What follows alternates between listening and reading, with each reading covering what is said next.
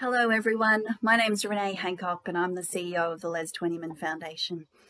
It's great that you can join us for this conversation during Book Week, which is a special opportunity to celebrate Australian authors and books.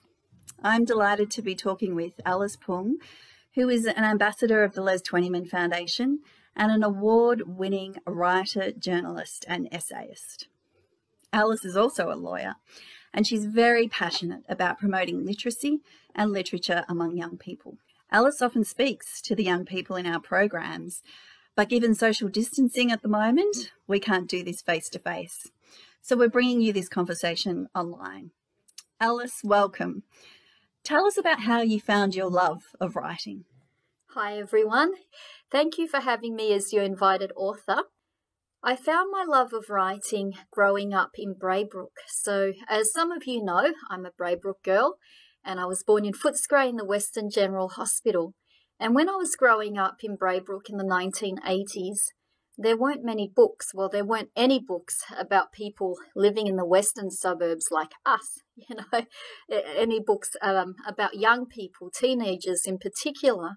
And so the I, I was a big bookworm. I read a lot of books, and um, when I was about 19 years old, when I was doing a um, assignment at university, it was a creative writing assignment. You had to take stories from your own life and write about them. And um, I was in this class at the university where a lot of the members of the class had traveled overseas many times. They were from the other side of the river. So they'd gone to private schools, they'd been to Europe by the time they were 16. There were some really fascinating older members of that class, one woman who had children, another man who joined the Labour Party. And so everyone seemed to have interesting stories to tell except me. So I started writing this story about well, about going to kindergarten. I went to a kindergarten called Cherry Crescent, just in Braybrook, and I just remember um, I didn't speak English when I first went to school. So my grandmother used to bundle me up in lots of clothes until my hands stuck out like a penguin's. And I just remember going to kindergarten in this really hot day, bundled up in this big padded mouse suit. And um, I, I couldn't speak English properly because we spoke Chinese at home. And I just remember being so embarrassed to speak English that I peed my pants. And uh, it was photo day. And the photographer came and he took photos of everyone, you know, little kids at the easel with their paintbrushes, kids on the swings, kids in the sandpit. And then when it was time for the kids to have their slide photos taken, so every kid went down the slide and he did a action shot. I wouldn't go down the slide because I knew if I went down the slide, it would leave a big wet streak and people would know I'd peed my pants. You know, even underneath all those layers of clothes, the pee would seep through. So, um, stupidly, I thought, well, I've got nothing to lose. The night before this assignment was due, I wrote this story about peeing my pants in kindergarten.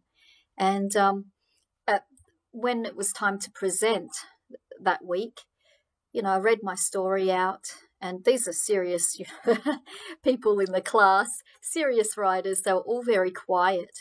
And I thought, oh crap, yeah, I've done something terrible.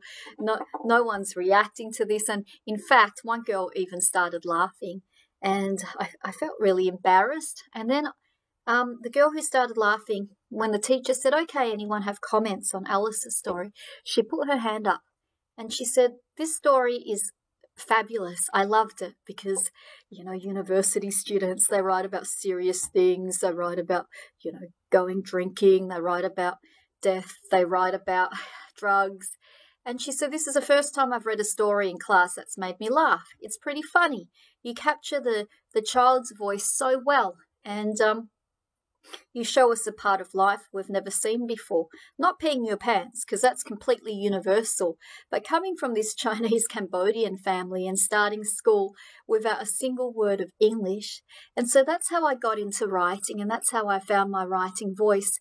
Um, I wanted to have this particular blend of the universal stories that everyone could relate to. You know, being embarrassed as a child, being angry at your parents, feeling like you've got your freedoms restricted, and also the very specific what it's like to grow up in a um, you know low socioeconomic household in the western suburbs of Melbourne from a refugee family.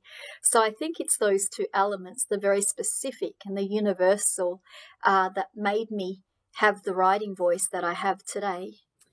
Many of the young people that we work with will be reading your book, Unpolished Gem, right now. It's on the Australian education curriculum.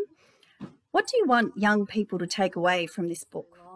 It's um next year will be its fifteenth year, so the book is quite old, you know, and some of the students studying the book would probably be as old as the book or sometimes even younger. And um, what do I want people to take away from this book? You know, as a writer, I don't have any specific message um, and that, that sounds contrary to what I do as a writer, because writers write messages. but I've never been the sort of writer to go, oh, I'm going to write a book about this and teach people a lesson about anti racism. I'm going to write a book about that and teach people about the dangers of drugs. Because teenagers are smart. When I was a teenager, the books that I hated the most were the ones that really um, were not books, they were teaching tools. They had a very specific message. The adult, the adult author had this idea in mind that they would be there to teach a lesson to young people. And because they were so much older and wiser, they would impart all this wisdom that they knew. And those were the most boring books. Um, they didn't have the nuances or the flaws of character and personality that you see in true novels that um, that have an actual heartbeat and I was very lucky. I started writing Unpolished Gem when I was 19 years old, so I was still a teenager myself. And I started writing this book because I had a lot of self doubt. I never saw anyone that looked like me in the books I read, except for Claudia in the Babysitters Club. Um, I never knew what it was like to navigate my teens and 20s as an Asian Australian person. So I set out to with a question, you know, what's it like growing up Asian in Australia at the particular time I grew up? And I set about writing to see if I could find an answer to this question. And that's why Unpolished Gem, um, it's like quite painfully honest at times about my experiences. And that's why at the time it was published, it did so well. Um, I think because it subverted some stereotypes people had about refugee families, about Asian immigrants, and especially about the children of pushy tiger parents. So um, my mum can't read or write, so she couldn't be a pushy tiger parent. She couldn't educate me. And what's more, when my book came out all those years ago, I remember at the book launch, um, my dad invited all his friends. Some of them worked in factories, some of them had small businesses in Footscray, but they all came with their kids, and some of them had teenage children, and they bought the book for their kids. And they pushed their kids next to me to take a photograph, and their kids would be kind of pissed off holding the book, thinking, Oh, why do I have to read this? Dad's going to make me read it. And I understood exactly how they felt because on the back of Unpolished Gem, uh, where where the blurb is says something about the author. And on the back of the blurb, it says Alice Pung is a Melbourne writer and lawyer based, you know, born in Footscray. Now, those parents who couldn't read or write a single word of English in our very small insular community in Footscray, they found out that I had um I'd gone to university and studied law, so they thought, "Wow, this this lawyer wrote a book, so this book must be about how to make it for our kids, you know, the the great immigrant success story. So they wanted to buy this book for their kids to teach them a lesson about perseverance and about, you know, resilience and about really working hard and making it. And of course, for those of you who have read Unpolished Gem, you know, it doesn't work out that way. I, I um actually document in the last few chapters my year 12 and my year 12 was a horrible year you know, my mum got severely depressed and um, got very sick. I had to look after my younger siblings. And eventually, 10 weeks before my exams, I had a nervous breakdown, uh, a breakdown so severe that I wasn't eating, sleeping, or doing anything much. I was almost like a, um, in a vegetative state. I spent a lot of time staring at the wall and you know, doing nothing if you've ever been that severely depressed. Now, that's not the narrative that you read in the great Australian dream novels, but that was the honest narrative. Um, And eventually I got out of it, of course. But the, the whole book is filled with um, with honest truths like that because it's not easy. It's not easy being a child of immigrants and a child of refugees. It's not easy to grow up in a racist environment and neighborhood as I did at that time. And it's not easy to um, wrap your life up in a very neat and succinct story of success. In fact, the greatest lesson I learnt through all that was how to fail and how to fail gracefully so I hope students will get something out of Unpolished Gem, if, if only that. Tell us about your most recent book, Close to Home. It's a collection of your most loved writings. Which which piece of work is your favourite and why? It's called Close to Home because it's set. Most of the stories are set, you know, um, well in Braybrook or Footscray. I've been all over the world as an author. I've been to Alaska, in far flung places like that. I've been, you know, to Europe when my book got translated into Italian, and I've been to um, lots of parts of Asia to to visit schools and give talks. But one of the most wonderful things I've discovered as an author was when I was in Alaska, I found my book Unpolished Gem there, and I thought, wow, Footscray has reached the wilderness of Alaska in the middle of this winter, where the sun only shone maybe six hours a day. There was a little slice of Footscray in this tiny bookstore on the other side of the world. And so I guess the collection of essays in Close to Home is um is just about that. It's about the little Saigon market in Footscray before it burnt down. It's about um, you know, some racist idiot leaving a note on our car window for me and my husband to find, which said in very big letters, Stop Race Mixing. And it's about growing up in Braybrook uh, with friends who were never really given a real opportunity to see what life was like on the other side of the river, not due to their own hard effort or perseverance, because some of the most hardworking people I know lived in Braybrook, but just due to bad luck and poor circumstances. So that's what Close to Home is about. Do I have a favourite essay in there?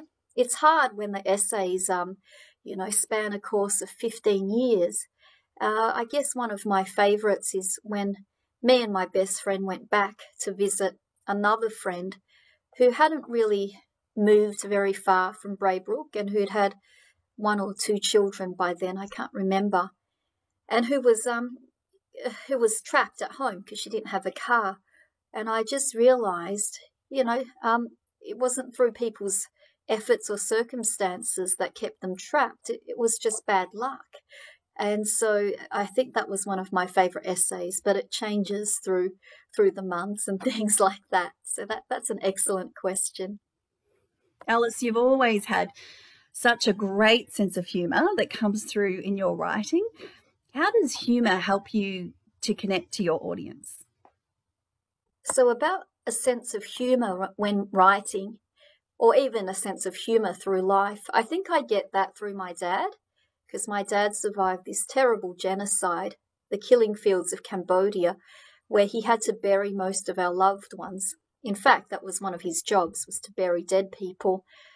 And um, he survived four years as a slave laborer. Now, we probably think about slavery as something that happened in, you know, Southern America hundreds of years ago to black African Americans or something way in the past. But there's modern day slavery. And in 1975, Cambodia was a slave nation in that the government made every single member of the country its slaves. And um, so my dad was a slave laborer for four years. If you've ever seen that movie, 12 Years a Slave, You'll know exactly what he went through. And my dad maintained this sense of humour. And he liked to tell funny stories, which I thought were embarrassing when I was a kid. I just remember being 14 years old and my friend Bianca coming over. And um, my dad was eating calamari and he would say, Oh, Bianca, this calamari is delicious, but it's not as tasty as that belt I ate. And um, I was so embarrassed. I thought, Dad, no one eats a belt. And I told him that. And I was thinking in my head, oh, my dad, he can't even speak English properly, you know. How can you get a belt mixed up? Maybe he ate a belt of licorice or a belt of beef jerky. Now, this is a tragic thing that racism does to you, it makes you critical about the people you love most. So I thought my dad just didn't know English properly. You know, I said, Dad, no one eats a belt. Did you eat a belt of licorice this morning or something? And my dad said, Don't interrupt me. I ate a belt. And my mum said, Yeah, your dad, when he was surviving those killing fields in Cambodia, you, did you know he was so skinny that if he breathed inwards, you could feel his backbone through his stomach? So even though my mother can't read or write, I come from a very literary family. They have this great way with words. You know, it's, it's a perfect metaphor. It's not even metaphor, it was literal. You could feel his backbone through his stomach when he was starving. So what ha- actually happened was my father found this belt, you know, the belt you wear around your waist, um, that he had buried ages ago, because you're not allowed to own anything in this revolution. Even if you picked up a handful of sand, you could be executed for stealing from the country. So, anyhow, he picked up this, got his old belt, and he thought, oh gosh, we're starving. We haven't had anything to eat. People were, you know, if people dug in the ground and a big fat tarantula spider popped out, that was protein that day. And my dad couldn't even find any spiders, silkworms, crickets, rats. There's no food except for this belt. And he looked at it and he thought, hey, this comes from the skin of an animal. You know, people eat beef jerky and pork crackling. So he cut it into tiny, tiny pieces. And then he called my grandmother and my auntie over, who were the only two members of his family who were he knew for certain were alive at that time. And he said, Here, taste this. After he boiled this belt into mush, you know, it's still leathery. And um, my granny said, Son, you found meat. How wonderful. And my auntie just shoved it in her mouth and chewed and chewed. And she said, Oh, brother, it's great you found meat, but how long is this? What, what kind of animal is this? And how long has it been dead for? And my father said, Oh, don't ask any questions, just eat it. And that's what kept them alive for the next day or so. You know, these pieces of belt expanding in their stomachs.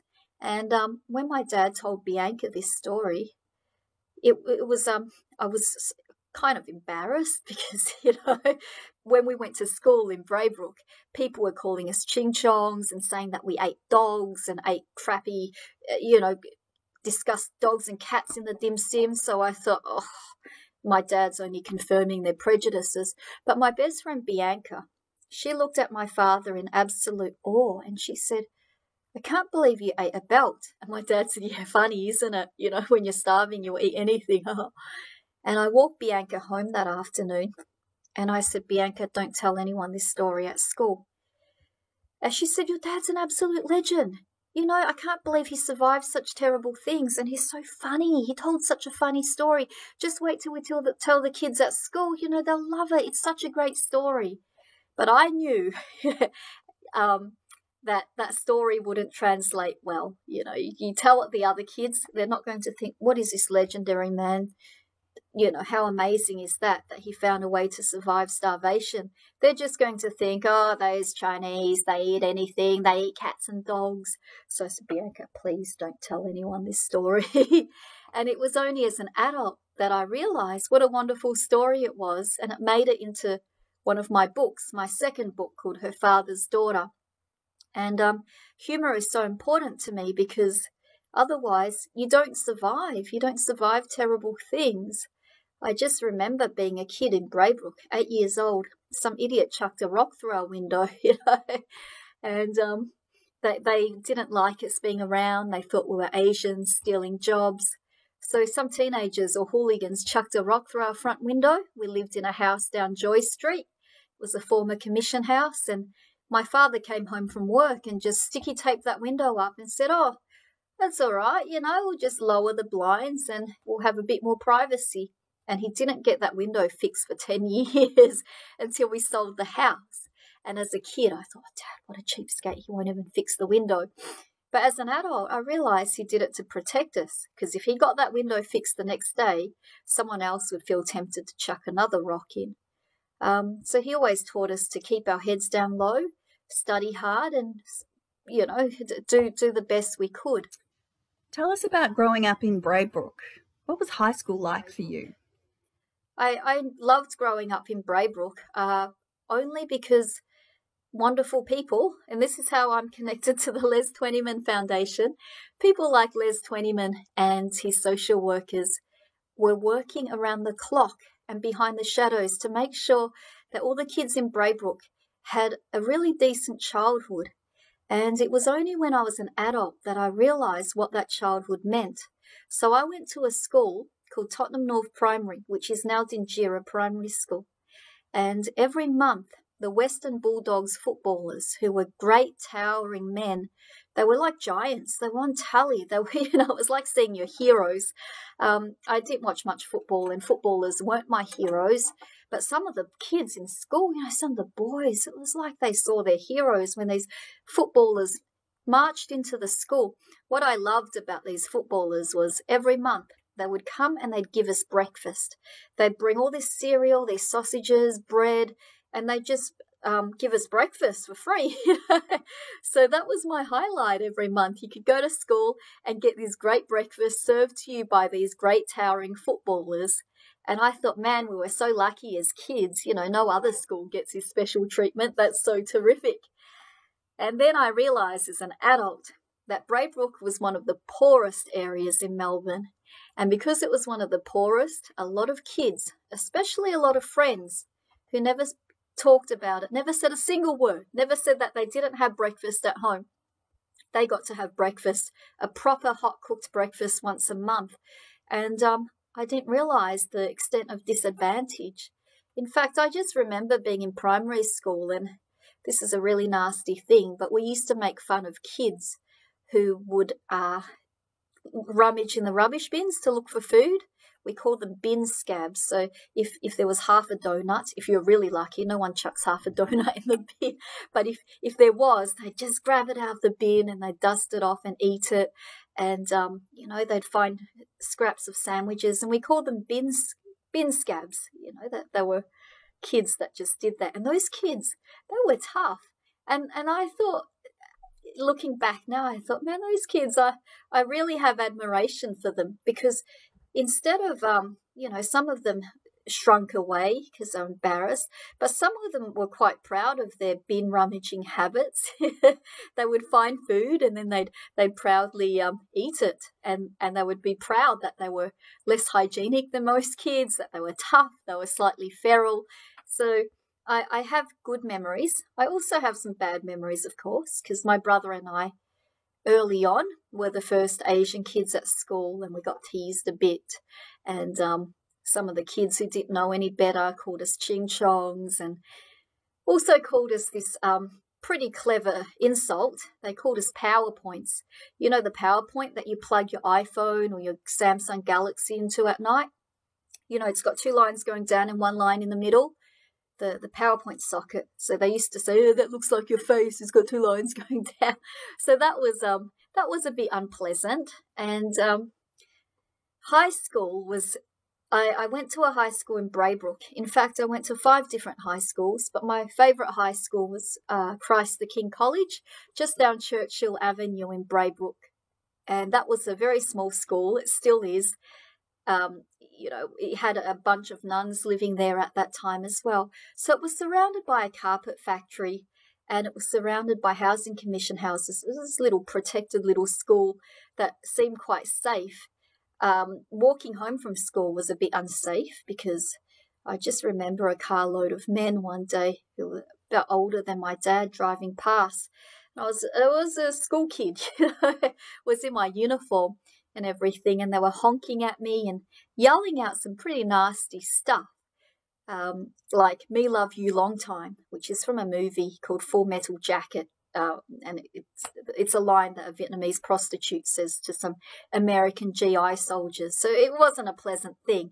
So that was the the the oh, what do you call it? The you know the the growing up in Braybrook. You've got equal measures of love and and empathy and kindness from your teachers in the school.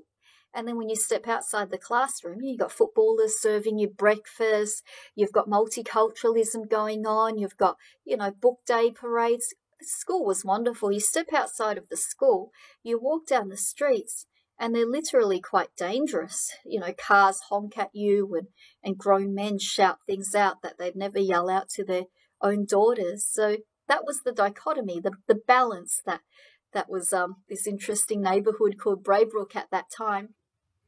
How has the pandemic impacted your life and your family? Has it made you look at your writing differently? Um, the pandemic has been, uh, you know, it's affected everyone, but I think I've been very lucky because I, I work as a writer, and as you know, writers are quite solitary, so not much has changed about my writing. I still, when before the pandemic, I still wrote at home. I also have another job, so I work as a lawyer as well at the Fair Work Commission, and um, the pandemic affected our lives actually in a positive way for office workers because we're all sent home to work from home. And when you work for a place like the Fair Work Commission, uh, they, they send you a laptop home with you so you can do your work. So everything's provided for. And it was just so much easier. And I got to spend time with my family because I have two sons. And um, you might not be able to tell from this video, but I'm nine months pregnant. So during this whole pandemic, I've been growing a baby and it, the best place to grow a baby is not when you're running around dropping your kids off at childcare and you know picking them up and dropping them off at school it's just being safe at home with, with all your loved ones around. So i've been very lucky through this pandemic uh, and being a writer of course i visit a lot of schools. So during this pandemic uh, I haven't had to travel very far to go to distant schools in the countryside, in Newcastle, you know, even halfway across Australia. We've just been able to do these sessions on Zoom or like I'm doing for you now during Book Week over online. So the t- pandemic has been good for people who have quite sedentary jobs. Sedentary just means sitting down jobs. It's been very difficult for the other half of my family who um, who are labourers. Who my uncle, the brick, bricklayer, doesn't have much work. A lot of my family are aged care workers, so they are put in this dangerous situation where they have to go to work and risk catching the virus, but they're essential. They're, they're just really good people. And my sister is a school teacher, so yeah, so it's affected people in different ways. But being a writer, I've been very lucky during this pandemic. Has it made me see my writing differently? Oh, I've been more productive just because I've had more time to think. So I finished writing a children's book with my friend Cheryl, who's an illustrator. I finished a young adult book. Um, it's not made me see writing differently. I guess it's made me see life differently because uh, I moved in for a bit with my parents just because, you know, I've been pregnant and having two kids. And when you move back in with your parents as an adult, you start to see them differently. And they gave me a lot of perspective. You know, I mentioned they survived war, famine, the murders of half our family.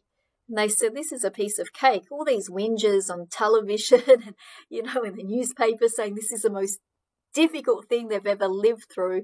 My parents said, Look, the, these Australians, they might have lost their jobs, but some of them are sitting at home and they're watching Netflix and they're safe. No one is bombing them. They don't need to grab a gun at the age of 14 and go and fight in a military combat zone.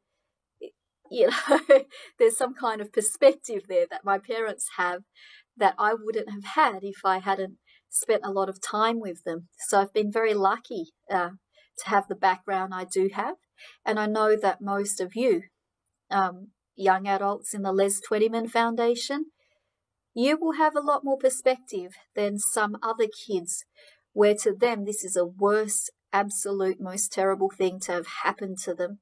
And I think you've seen worse, many of you. So I think your resilience is uh, quite high during this pandemic. Um, but I do understand that life is hard for some of you, especially when you've been forcibly locked down. So yes, I, I, uh, I feel your struggles as well.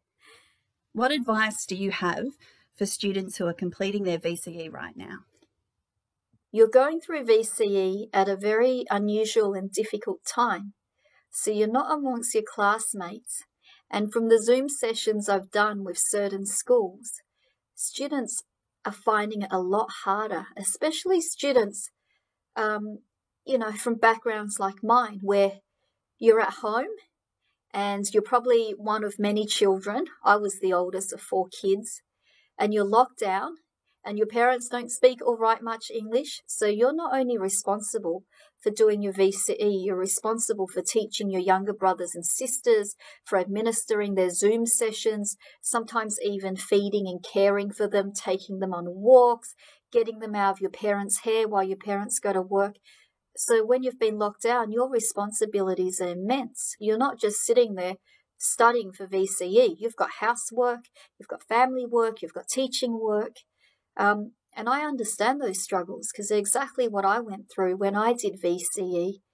And um, it's all part of being, it's all part of being a family, but it's also part of being, uh, you know, immigrant household. It's all part of being someone from Braybrook or Footscray or St Albans or Sunshine. The struggles we have are very different from the struggles of people who all they have to do is study for VCE and they're very stressed.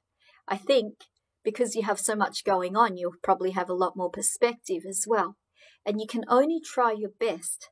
And the best advice I can give you is if you've done your absolute best this year, if you've managed to fit your study in amongst all the other things you've had to do, if you've managed to consistently, you know, try do your homework or be on as many Zoom sessions as you can, you'll you'll be all right. And you know, VCE is not the be all and end all. Um, and and that's I know this from experience because I had a nervous breakdown in year 12. I think the teachers didn't even think I could sit my exams. I was that far gone. I couldn't even read a newspaper straight. The sentences made no sense. You know, I was so close from being hospitalized. But my mum drove me to all my exams and she said, You've just got to get through them. You've just got to do it. I don't care if you write gibberish, just do it. So that's what I did. And because I'd been consistent that whole year, um, I tried to fit study in whenever I could. All the stuff you learn is in the back of your head. If you've if you've you know if you've studied hard enough, even if you have a breakdown, and I, I seriously would not have believed this until I experienced it myself, it's all there. So I sat through my exams and I thought I wrote gibberish. I have no idea about a single sentence or word I wrote in any exam.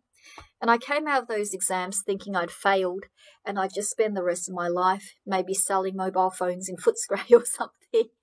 And then um, my VCE results came through because back then you had to call up and I called up and I thought someone was playing a sick joke on me. I really didn't think I got the mark I did, but I actually did. I, I got um, quite a good mark. I got a, a mark that was enough to get me into Melbourne Law School, which was completely unexpected. You know, I um, I'm not the brightest person. I'm not the dumbest person in the room, but I wasn't the smartest kid in school. I just tried really hard, and I guess your teachers are all going to tell you this, but you know, just persevere, and you'll get there.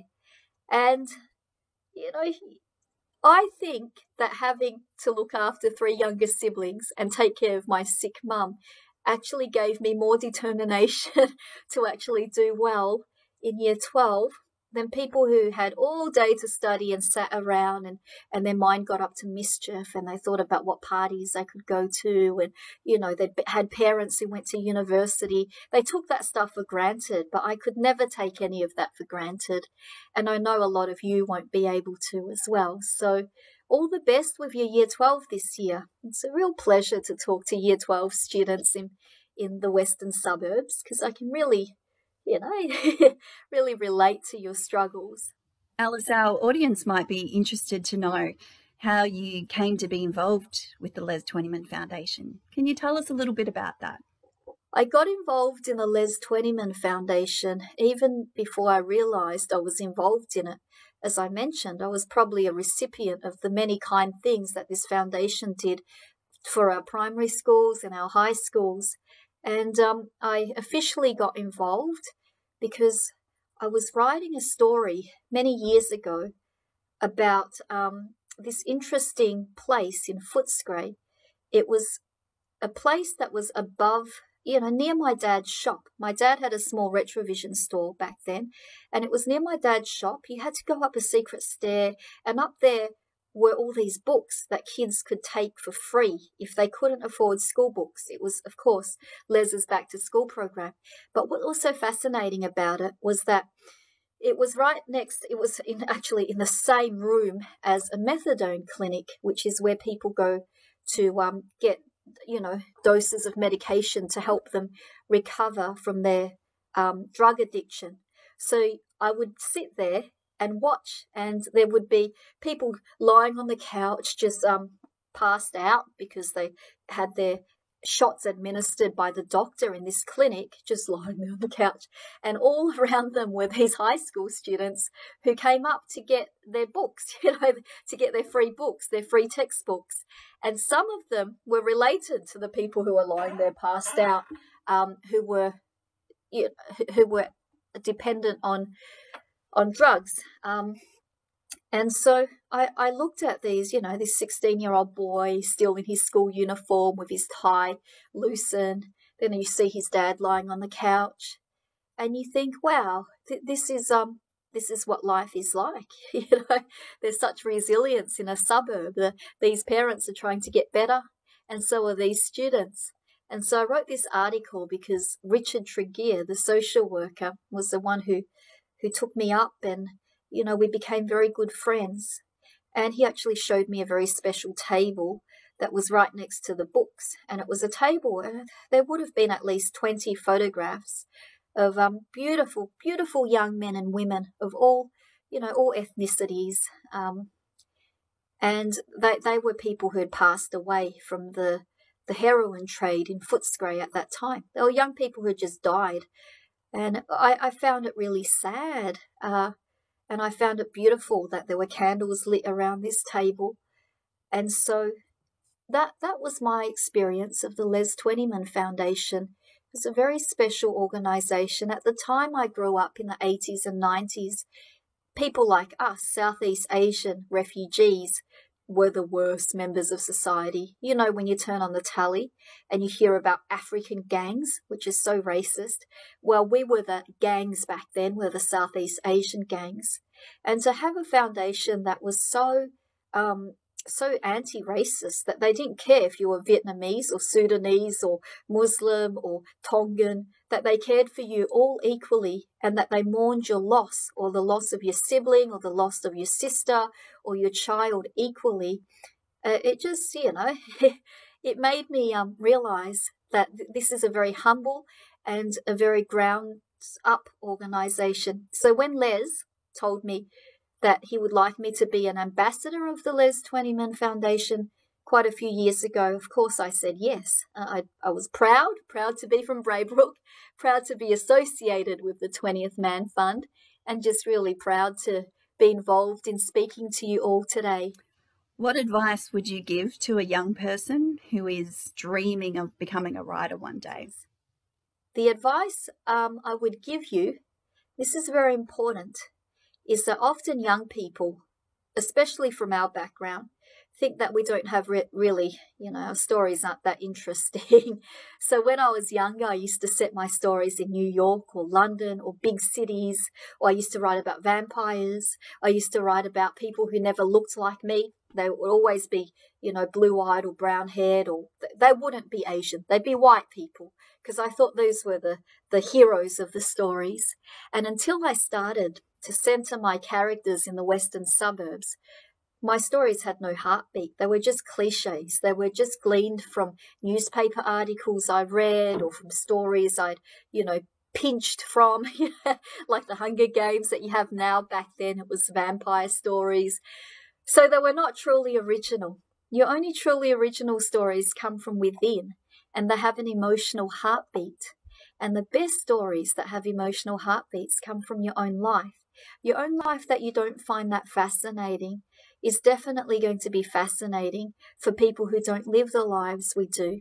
And so that's why it's so important to me as a writer from the Western suburbs to cultivate other voices from the Western suburbs as well, because um, I, I know the Australian publishing industry. Most people who write have two things that people in the Western suburbs don't have. They have time on their hands, they have a lot of time to, to spend writing, lighting candles, you know, making their office space beautiful so they can write. Uh, you grow up in a, a, working class family, you don't have much time. You're busy helping your parents, that kind of thing.